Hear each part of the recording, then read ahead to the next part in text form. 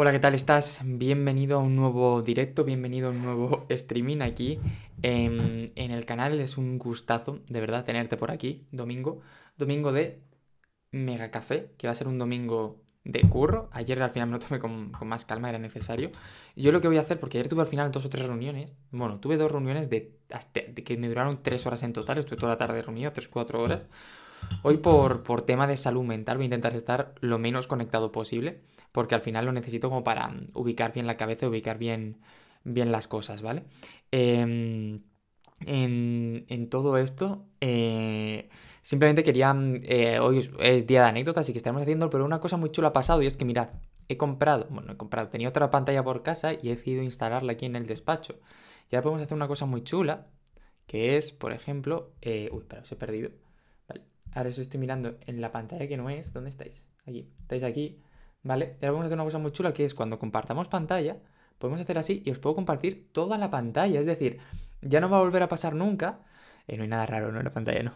Ya no, ya no va a volver a pasar nunca eso de, de, de, tener que ubicar un trocito, lo que sea, porque podemos compartirlo absolutamente todo. Podemos ver vídeos en grande, podemos hacer miles de cosas. Y yo creo sinceramente que eso está muy chulo. De hecho, hemos metido hasta otra cámara para poder hacerlo también. Espera, voy a poner esto así. Lo que pasa es esta cámara es que tiene un problema con el enfoque y tengo que aprender a hacer que enfoque bien porque si no es una, una movida, ¿vale? Pero para que lo veas, todo el despliegue técnico que tenemos por aquí que aunque no sé si me estás escuchando, sí, sí me estás escuchando, puedo hacer ahora mismo, quitar esta cámara, ¿vale? Voy a decir pin, fuera, y vamos a poner esta. No, me estarías viendo desde el otro lado, yo podría simplemente hacer algo así para que me vieras desde más cerca si estuviera mirando esta pantalla, lo cual va a estar muy chulo, que esto lo vamos a quitar, vamos a poner esta, que es la que a mí más me interesa, y vamos aquí, y de hecho en este directo lo que voy a hacer es ponerme el lista aquí para poder mirarte de frente, y vamos a poner la cámara entera. Pero oye, fíjate Fíjate, fíjate todo lo que tenemos, el despliegue técnico que hay ahora mismo en, en Copimelo para, para hacer las cosas. Nada, la verdad es que va a ser un día intenso, va a ser un día chulo, pero eso por los domingos por salud mental, básicamente, lo que, mm, lo que intento es estar desconectado de, de WhatsApp, Slack, email y estas cosas, ¿no? Sí que es cierto que el email por la noche a lo mejor lo toco más para ya responder a los emails para el lunes por la mañana y quitármelos de en medio, pero intentar estar desconectado. Cuando me toca curar días así, prefiero estar out totalmente por, por una cuestión de, mera salud mental, de, de, si estoy todo el día conectado, al final te vuelves loco y, y, creo que necesitas respirar, necesitas trabajar tranquilamente. Y después de un sábado mucho más de relax, aunque sinceramente el tema de reuniones acaba machacando mucho, un sábado es mentalmente agotador, creo que, que hoy tenemos ya la perspectiva para hacer las cosas bien, hacer un trabajo diferente, ir a por, a por todos estos temas. Así que nada, eh, nada, te quería mostrar lo del despliegue técnico, despliegue técnico, porque creo que puede dar muchas alegrías y a la hora de grabar cualquier cosa, de compartir cualquier contenido, la verdad es que nos va a dar unas alegrías tremendas, estoy convencidísimo, así que vamos a aprovecharlo. De hecho, es que estoy seguro de que podemos hacer cosas muy chulas con esto, de tener a la pantalla, de poder mirarlo, no tener tantos problemas de si grande, pequeño, No sé a ti, pero a mí me da mucha tranquilidad a la hora de hacer cosas y nos da perspectiva para hacer cosas nuevas, lo cual también va a estar chulo, chulo, chulo. Así que eso, eso genial. Eh, y de hecho, esto de las dobles pantallas, ya estuve ayer toqueteando un poco, viendo eh, ventanas y tal, y me lo pasé muy bien. Así que no me extrañaría intentar meter más cosillas de estas técnicas para intentar hacer cosas chulas. Una aquí, tercera, no te diría yo que en ningún momento, porque al final, cuanta más info tengamos en pantalla, mejor. Pero bueno, eso era una cosita aparte, un, un break para empezar. Lo que hoy quiero hacer es, eh, bueno, eso, que es la calefacción, que aquí estamos con calorcito, hace un frío de pelotas aquí donde yo vivo entre montañas, hace muchísimo frío. Ahora está desayunando, me he metido así debajo como, bueno, nosotros llamamos la ratera, pero es como una estufita que se entiende debajo de la mesa, me he metido así y, y he sido como, me he quedado traspuesto mientras desayunaba. Así que nada, eh, en todo este sentido, más allá de, de esto, lo que, lo que toca, lo que voy a hacer, lo que voy a intentar es... Eh, pues contarte esto una anécdota. Eh, año 2018, 18, 19, 19 yo creo que es. Yo trabajé en una empresa que teníamos unas 30 personas, aunque trabajamos a, eh, 30 personas en España, otras cuantas en Latinoamérica, ¿vale? Y en Tailandia, Tailandia, sí, en Tailandia, ¿no? Sí. Y, y de la noche a la mañana eh, nos compra una empresa japonesa, Lifeful, ¿vale? Em, que es, por ejemplo, la empresa que tiene también Rakuten, para que te hagas más o menos una idea. Ellos tienen un perfil que se llama Lightful Connect y que básicamente en Lightful Connect lo que intentan es todo el tema de, bueno, yo trabajo en portales inmobiliarios como copy, pues todo el tema de, de portales, etcétera, unificarlo, ¿vale? Vender cosas tenerlo unido bajo una nueva marca que se llama Lightful Connect, que por cierto veo que están buscando mucha gente para currar, no sé si, no eres copy, o sea, de copy no he visto nada, pero si eres programador, diseñador, sé que están buscando mucho y yo estuve muy contento todo el tiempo que estuve allí, una de las mejores experiencias profesionales, pero también personales de toda mi vida. Total, pero que ese no es el rollo. Lo que pasó fue un día que en una de las primeras veces que trabajamos juntos enviamos un texto, un texto y un vídeo, ¿vale? Era para ni siquiera era para un cliente, sino que era para una especie de evento interno en el que nos íbamos a conocer todos los nuevos integrantes de la empresa. Cuando nos fusionamos, porque no solo nos compraron nosotros, sino que compraron tres o cuatro empresas más aquí en España, pues nos fusionaron a todos y nos llevaron a, Barcelona para tener un evento. ¿no? Y se va a poner ahí un vídeo como de juntos somos más fuertes, una cosa de estas, ¿no? Para motivación, para hacer equipo, etcétera. Y, como el único copy y la única diseñadora del equipo veníamos de, la empresa de donde estaba yo antes, pues nos encargaron de hacer ese vídeo y dijimos, pues perfecto, vamos a hacerlo.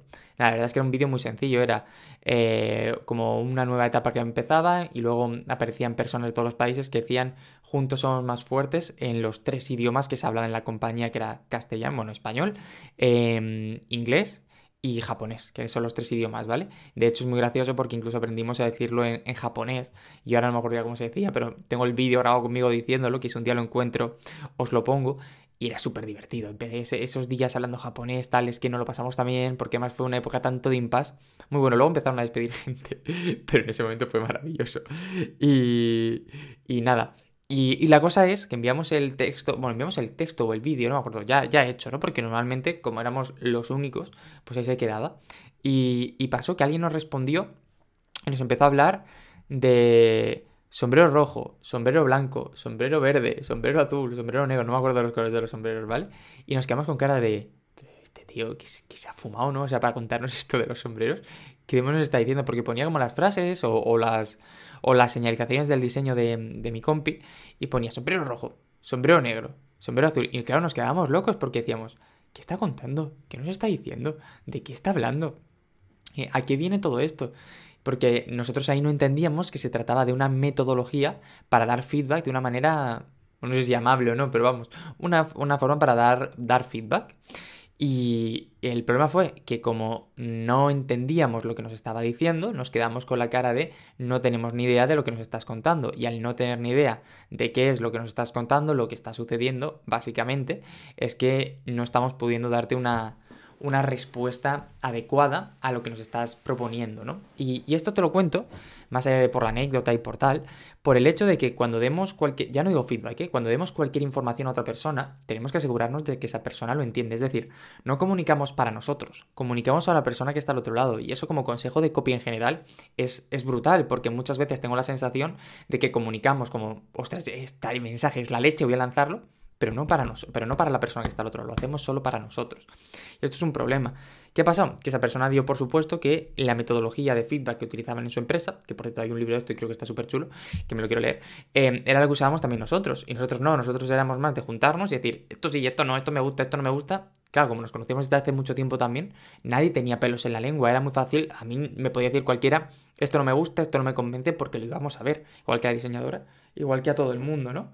Pero está aquí sonando el móvil, lo voy a poner en modo avión, pero, pero claro, desde fuera, ¿no? Es como si, no sé, hay, que dar siempre el contexto. De hecho, una de las claves, y esto, con esto ya podemos como ir poniendo el punto y final a, la idea de la que hoy te quería hablar, es que cuando des cualquier tipo de contenido, siempre contextualices primero, es decir, pongas un pequeño espacio donde que se quede muy, muy claro cuál es el contexto de la situación, para qué se va a utilizar, cómo se va a utilizar, dónde se va a utilizar, porque eso es precisamente lo que va a marcar la diferencia entre lo que está bien y lo que está mal, lo que funciona y lo que no funciona, para que la persona al otro lado lo entienda o no lo entienda. ¿Vale? Esto es muy, muy importante. Y, y, nada más, es el mini consejito de hoy. Espero que te haya gustado, que hayas disfrutado, que hayas aprendido, que tal. Y nos vemos pues mañana mismo, nos veremos en un nuevo directo, en un nuevo café, por aquí por la mañana. Y hoy será más cortito porque, bueno, hay muchas cosillas por hacer, aunque es muy probable, y cuando digo muy es muy, muy probable, que nos pongamos un rato luego a currar aquí en directo, simplemente hablando. Además, ahora con el tema de las dos pantallas es mucho más cómodo porque no tengo que estar como mareando mucho la perdiz, sino que puedo hacer algo tan tonto como estar eh, yo trabajando y, y a lo mejor tú que ni siquiera me veas frontalmente, que yo puedo estar así, ¿vale? Así, o así, incluso, o incluso más abierto, ¿vale? Que se pueda ver como así. Y me puedes ver mientras voy trabajando, mientras voy currando y mientras voy haciendo las cosas. Eh, tengo que arreglar lo del enfoque porque, insisto, es un completo rollo y con ese enfoque pierde muchísimo todo esto. Pero es que sinceramente creo que esta postura, mientras estoy aquí trabajando, tiqui, tiqui, tiqui, tiqui, tiqui, mola mucho. Y como lo podemos incluso ampliar más para que sea así, yo puedo estar aquí contándote mi película y tú puedes estar viéndolo. Pero lo es serio, lo del enfoque este es un rollazo enorme que hay que solucionar porque si no tal. Además, hace como que la, la cara sea un poco rara. Pero bueno, iremos, iremos viéndolo, iremos aprendiendo y seguro que podemos sacar mucho de eso. De todas formas, a mí me sigue gustando más este plano. Así que nada, te veo en el próximo vídeo, ¿vale? En el próximo directo. Hasta pronto.